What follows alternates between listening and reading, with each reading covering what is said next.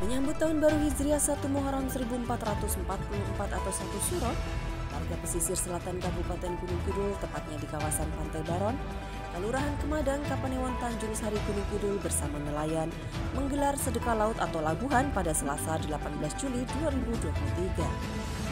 Ketua Panitia Sedekah Laut Pantai Baron Sarwaji mengatakan, adat sedekah laut sendiri merupakan adat dari nenek moyang yang sampai saat ini masih dilaksanakan.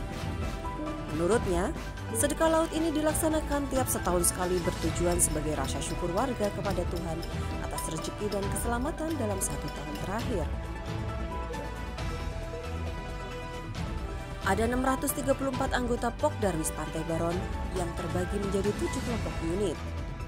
Kelompok unit tersebut membuat gunungan dan diarak untuk dilarung di laut.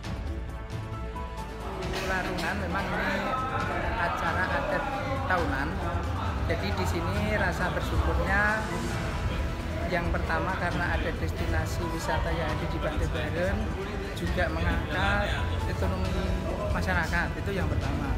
Yang kedua, yang kedua kenapa diadakan sedekah suro itu kita rasa syukur, rasa syukur, rasa nikmat, makanya kita mengadakan sedekah satu suro itu memang sudah ada dari nenek moyang kita seperti itu. Dan untuk tujuan tujuan ke depannya karena di destinasi wisata yang ada di Bangka Bali itu mudah-mudahan untuk ke depannya dengan adanya acara ini untuk peningkatan yang pertama peningkatan kesejahteraan masyarakat yang ada di pelaku wisata yang ada di Bali seperti itu.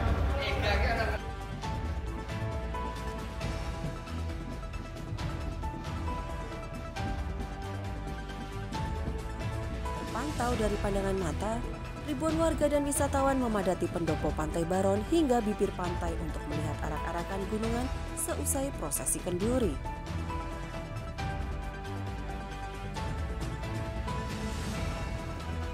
Dari masing kelompok masing-masing kelompok unit membuat gunungan untuk diarak dan untuk nanti di, dilakukan di lautan selatan.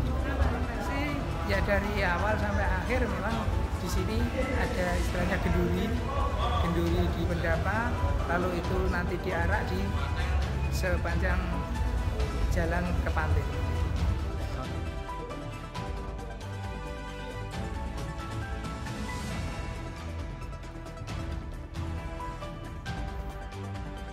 Sesampainya di bibir pantai, dilakukan penaburan kembang terlebih dahulu. Lalu gunungan yang berisi hasil bumi tersebut dibawa menggunakan perahu ke arah selatan, meninggalkan pantai untuk proses larungan di laut.